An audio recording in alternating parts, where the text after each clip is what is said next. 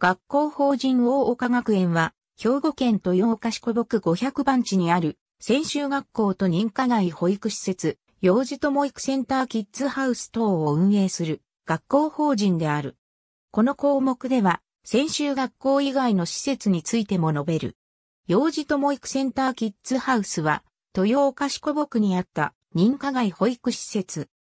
同市泉町にあった認可外保育施設、チャイルドハウスが豊岡市立北保育園の移転民営化に伴い、社会福祉法人豊か友会の認可保育所として独立後、名称を現在のものに変更。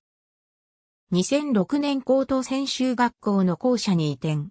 それに伴い、高等課程は専門課程の校舎に移転し、専門課程は2009年同市中位に移転した。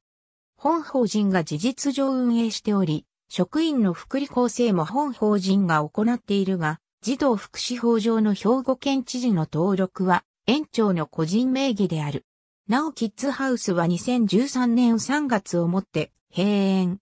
現在は社会福祉法人豊か友会運営の放課後児童、クラブ、キッズガーデンとなっている。外国語教室の国際交流センター地球村も運営している。地球村は豊岡工が高等課程の校舎に併設されている。